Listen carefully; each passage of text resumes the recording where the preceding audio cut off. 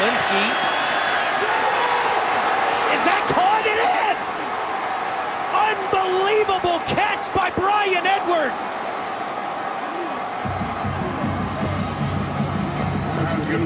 Hander from Bryan Edwards. OBJ, eat your heart out. He caught the middle of the football.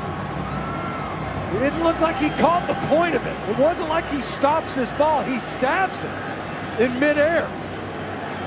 And not only that, but to come down inbounds, albeit I think he was down shy of the goal line. What's crazy is Will Muschamp said Edwards' first career catch against Vanderbilt three years ago was one of the best he's ever seen.